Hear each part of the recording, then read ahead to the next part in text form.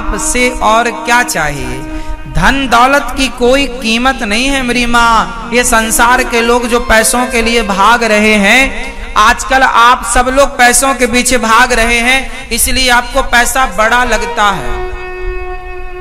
कुछ लोग तो पैसे को ही माई बाप मानते हैं। हमारे भारत में पैसों को महत्व कभी दिया ही नहीं था।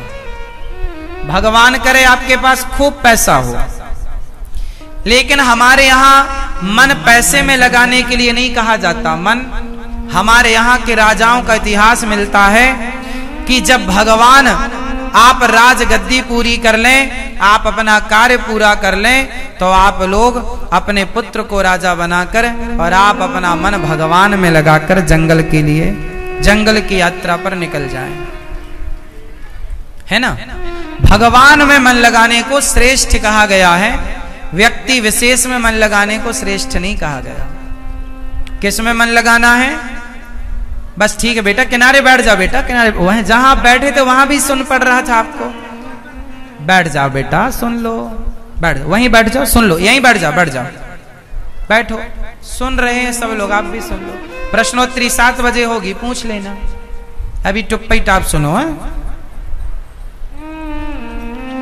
तो भगवान अपने आप को देना चाहते हैं। भगवान किसे देना चाहते हैं? अपने आप को। क्या आप भगवान को लेने की काबिलियत रखते हैं? इसलिए चित्रकेतु की बहुत सारी पत्नियाँ होने पर भी जब पुत्र नहीं हुआ, संत कृपा से पुत्र हुआ, पर वो पुत्र पाँच साल बाद जब चला गया तो राजा रोए। कई बार आप लोग रोते हैं कि फलाने चले गए। देखो संसार का नाम है मृत्यु लोक। यहाँ आदमी पैदा किस लिए होता है?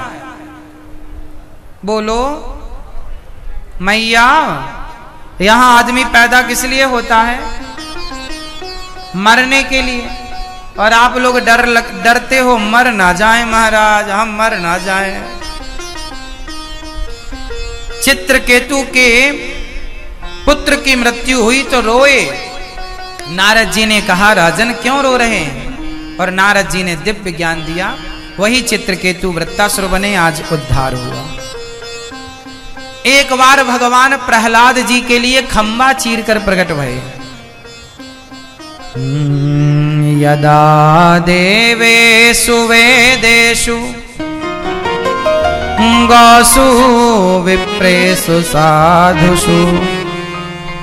धर्मे मयि च विद्वेश सवा आसो विनश्यति। जब जब धर्म की हानि होती है, अधर्म बढ़ता है, तब तब भगवान को अवतार लेकर धरती पर आना पड़ता है। एक बार हिरण्यकश्यपु के पुत्र नाम है प्रहलाद। प्रहलाद जी बहुत छोटे से थे, पाँच वर्ष के।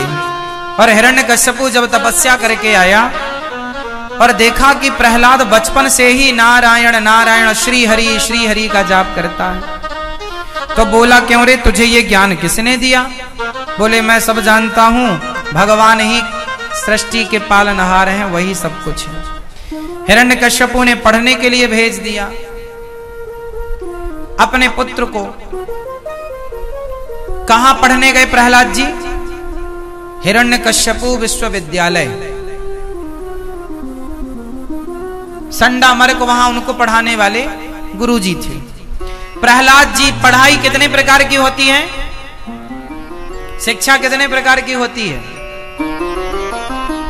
आज देखो आप सब पढ़े लिखे हैं। बड़ी बड़ी डिग्री धारी आप लोग हैं। कितने प्रकार की शिक्षा होती है? चार प्रकार की। कौन कौन सी? पहली शिक्षा धर्म की, दूसरी शिक्षा अर्थ की, तीसरी शिक्षा काम की, चौथी शिक्षा मोक्ष की, धर्म, अर्थ, काम और चार शिक्षाएँ होती हैं जिसमें आजकल के बच्चों को, आपके बच्चों को स्कूलों में कौन सी शिक्षा पढ़ाई जाती है? ज़ोर से। इन चारों में आपके बच्चों को कौन सी शिक्षा पढ़ाई जा रही है? धर्म, अर्थ, काम, मोक्ष में क्या पढ़ाया जा रहा बच्चों को? ज़ोर से। ज़ोर से। केवल अर्थ। अर्थ मतलब पैसा। जबकि शिक्षा तब तक अधूरी है जब तक चारों शिक्षा ना हो। चार सब्जेक्ट है ना। आजकल के बच्चे कितना भी पढ़ लिख जाएँ, लेकिन पढ़ने के बाद वो नौकर ही बनना चाहते हैं। हम नौकरी कर ले महाराज, हमारी भी नौकरी लग जाए।